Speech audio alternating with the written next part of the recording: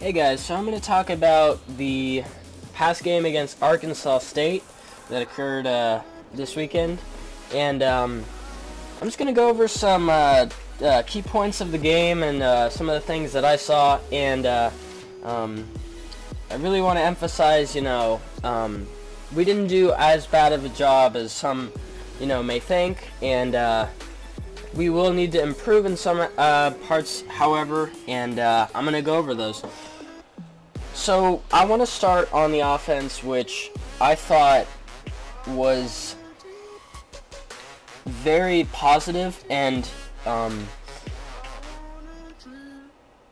first of all, the most impressive part that I thought was the consistent run game now, obviously, last year we didn't have a consistent run game because of problems with the O-line.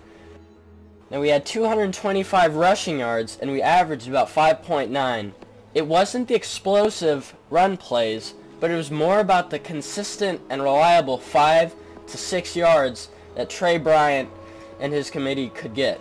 That was the more impressive part because with our pro-style uh, offense and with Tanner Lee, he's not going to be able to be a dual threat. Therefore, we need a great running game, which is exactly what we had. And uh, Tre Bryant was one of the leaders. Uh, he had 192 yards with the touchdown. Uh, very impressive stats. Um, and then there's Tanner Lee.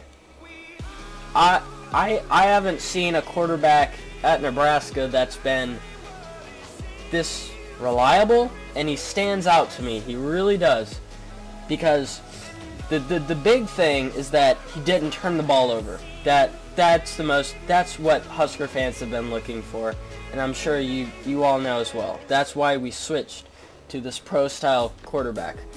He had 238 yards and two touchdowns. The, the, the part that he could work on is 59% um, completion percentage. Um, overall, a very good day. I mean, for his first game, that that's that's impressive. I, I, I can't ask more from him in his first game.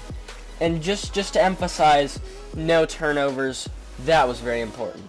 And also, Mike Riley didn't suspend uh, Stanley Morgan Jr. because uh, he can really help uh, the team with 102 receiving yards and a touchdown. He averaged averaged 20.4 yards per reception. That's because of the big plays that he made with Tanner Lee. This is a very reliable weapon, and we're going to need to use him against Oregon. Now, I want to shift to the defensive side.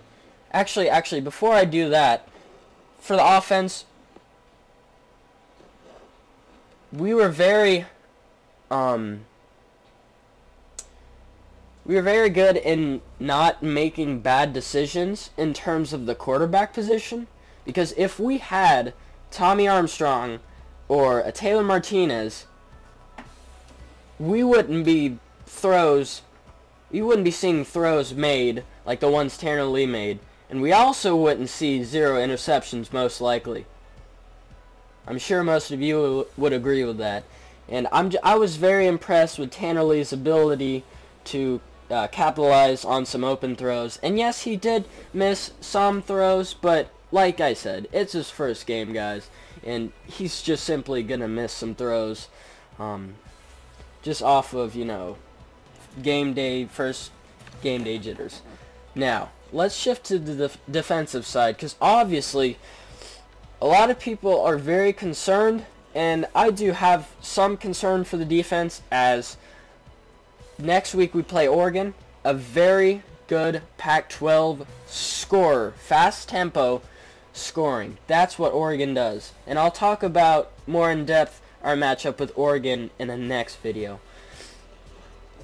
I've just got to say, you know, um, it really wasn't too bad. Like I said, Bob Diaco, in several articles I've seen, said that there are going to be growing pains with the defense. And that's absolutely fine. That's that's totally realistic. I didn't expect for the defense to come out blazing game one. If they did, that you know, good for them. But It, it, you you you cannot switch from a 4-3 defense to a 3-4 defense and expect for everything to just smoothly slide.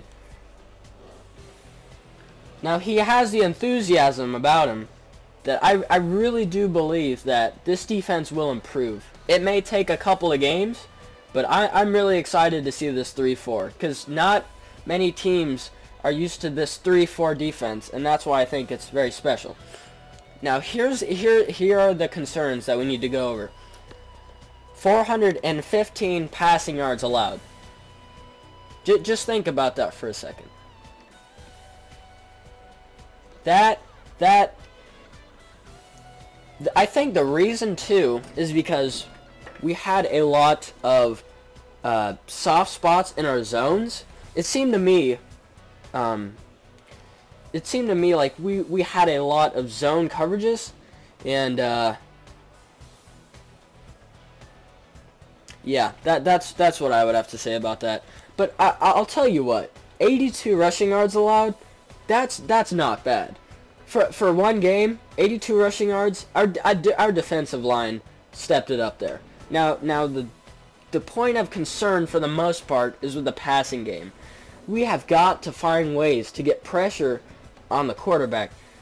Now now what I've been thinking about recently is when I was watching the game and we had the three a 3-4 set, three linemen with a linebacker coming to blitz on the edge the linebacker often went too far out and couldn't sack the quarterback. That's what we need to work on if we're going to send a blitz on a 3-4 scheme. But um we yeah, we we've got to work on uh, you know, coverages, whether it's zone and man. I, I think we will improve on the defensive side and we we sure will need to uh, if we're going to expect to compete with Oregon next week. But um I have complete faith in Bob Diaco. it, it is going to take a couple games to really, you know, uh, find our identity and uh, start to really compete on the defensive side. But um, the overall performance with Arkansas State, um, you know what? It, I would say it was more so of a um, day for the offense over the defense. And uh, I think most of you would uh, agree with me. Um, but, you know, we'll, we'll, just have to wait, you know, uh, a couple games uh, for the team to start to settle down and um, figure out their schemes. So, uh, that's it, guys. So, um, uh, hopefully see you guys um, next week at Massey's. the Oregon game will be at 4.30. And, just uh, take care, guys, and um, let's go Huskers.